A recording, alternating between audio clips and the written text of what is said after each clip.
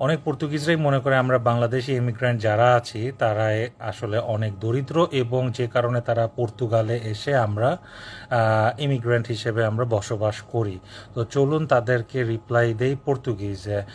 মুইতস portugueses pensam os uh, pensam que os bangladesianos uh, uh, vêm cá em Portugal uh, porque uh, nós somos muitos pobres não. Nós não é muito pobres.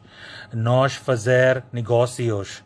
Uh, tem tudo mercados e kebab e restaurantes, comidas e uh, loja de euro e loja de turistas, é tudo, tudo. Uh, se, por exemplo, nós muito pobre, é, como é que esta possível para abrir muitas lojas ou fazer negócios aqui.